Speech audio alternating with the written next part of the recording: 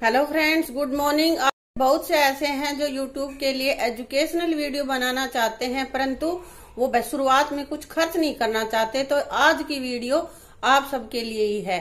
आज मैं आपको बताने वाली हूँ कि घर में उपलब्ध सामान से आप अपने मोबाइल से कैसे एजुकेशनल वीडियो बना सकते हो। इसके लिए हमें ज़रूरत पड़ेगी एक एंड्रॉयड फ़ोन की। एक हमें दो सेंटीमीटर चौड़ा, एक फुट लंबा कोई भी लकड़ी का या लोहे का टुकड़ा होना चाहिए।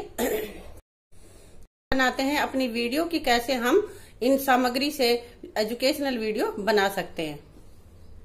तो ये हमने ले लिए हैं दो रबड़। ये हमारे पास है एक लकड़ी का टुकड़ा और ये हमारा है मोबाइल फ़ोन। अब देखते हैं इसको हम कैसे करते हैं। तो पहले हम करेंगे, ये मोबाइल यहाँ रख लेंगे इस पे और इसको यूँ लगाएँगे। ठीक है? इसके बाद एक रबड़ हम इधर से कर लेंगे। अब हम इसको इधर से डाल देंगे। एक रबड़ दूसरी साइड से डाला और एक इधर से डाल दिया हमने।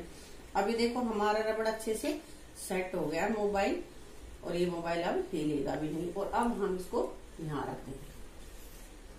इसके ऊपर बुक्स रख देंगे ताकि हिलेगा नहीं। अब जहाँ पे आपकी बुक्स रखी है, चाहे तो आप इसको और थोड़ा अंदर की तरफ़ कर सकते हो, चाहे बाहर भी निकाल सकते हो। जिस जहाँ पे आपकी बुक्स है, जहाँ पे सही आपकी फ़ोटो आएगी, वहाँ पे आप इसको एडजस्ट कर सकते हो, ठीक है? अब इसके बाद हम इसमें चाहे हम पढ़ा के पढ़ाते हुए भी बना सकते हैं अपना वीडियो ऐसे पढ़ा दे हमें अगर लेसन पढ़ाना है तो यहाँ पे। या हमें करके दिखाना है तो कोई भी पन्ना लेंगे, हम उस पर लिख के भी दिखा सकते हैं। अच्छे से, बहुत अच्छे से हम बच्चों को इसमें सिखा सकते हैं और हमारा इसमें कोई भी पैसा भी खर्च नहीं हुआ है। एक तो ये था कि हमने इस लकड़ी के डंडे को यूज़ करके हम अपना वीडियो बना लेंगे। और लकड़ी के डंडे की जगह अगर लकड़ी का डंडा भी ना मिले तो लोह का स्केल होगा। ये तकरीबन सभी के घरों में मिल जाता है लोह के स्केल को हम यूज़ कर सकते हैं लकड़ी के डंडे की तरह, उसकी जगह पे। और अब हम लेते हैं कि एक दूसरा मेथड जिसमें हम अपने हैंगर का प्रयोग करेंगे। अब हमने ये ले रखा है हैंगर हाँ हैंगर से भी हम कर सकते हैं। देखो, ये हैंगर लिया ये तो सबके घरों में होता है है ना? तो इसको हैंगर को हम यहाँ ऐसे रख देंगे, ठीक है?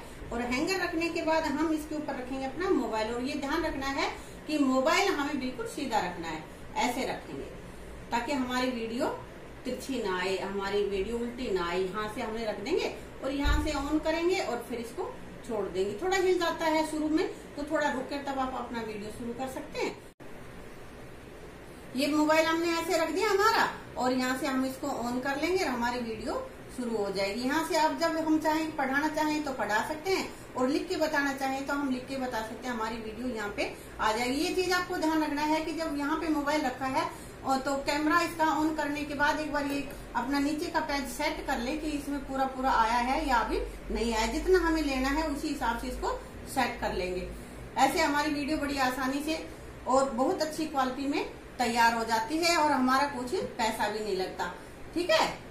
तो आप लोग सभी अच्छे से समझ गए होंगे, और फिर भी अगर किसी को कुछ कमी लगती है या कोई पूछना है कुछ भी तो आप कमेंट बॉक्स में लिख देना, मैं उनका आंसर आपको दे दूँगी। और मैं अगली वीडियो में आपको बताऊँगी कि हम ब्लैक बोर्ड पर भी बिना एक भी पैसा खर्च किए हुए ब्लैक बोर्ड पे पढ़ाते हुए भी वीडियो बना सकते हैं, और वो बताएँगे हम अपने अगली वीडियो में। ठीक है?